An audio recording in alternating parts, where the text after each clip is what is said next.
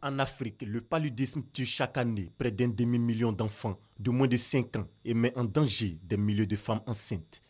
En finir pour de bon avec le paludisme, c'est le thème choisi pour la 9e édition de la Journée mondiale de lutte contre le paludisme, célébrée ce 25 avril 2016.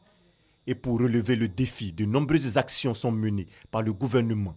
Gratuité des soins et distribution de la moustiquaire imprégnée d'insecticides à longue durée d'action. Le paludisme tue. Et malgré les progrès dans la lutte contre cette endémie, les enfants continuent de payer le lourd tribut. En Côte d'Ivoire, ce sont 63 000 enfants de moins de 5 ans qui décèdent du fait du paludisme chaque année. Pourtant, la prise en charge des enfants souffrant du paludisme est gratuite. Comment se fait cette prise en charge donc? Démonstration.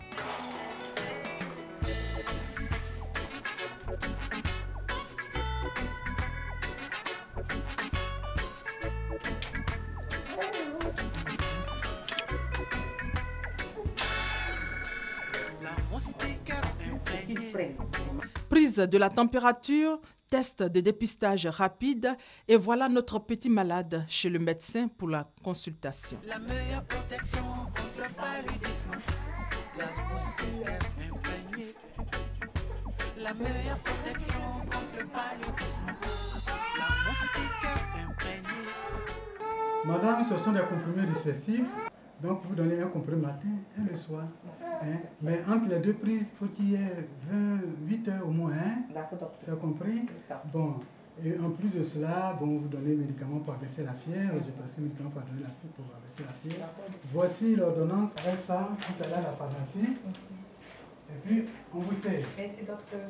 Ici, comme partout ailleurs, la prise en charge pédiatrique pour le paludisme des mineurs est entièrement gratuite. Désormais, le traitement est gratuit. Le traitement du paludisme est gratuit.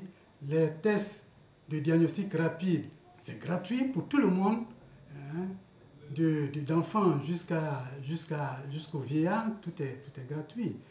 Le paludisme est la première cause de mortalité en Afrique subsaharienne selon le programme Rollback Malaria, piloté notamment par l'Organisation mondiale de la santé, l'OMS et l'UNICEF.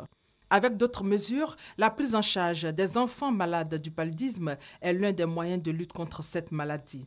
Un moyen qui serait beaucoup plus efficace si les populations se rendaient régulièrement dans les centres de santé en abandonnant des pratiques comme l'automédication.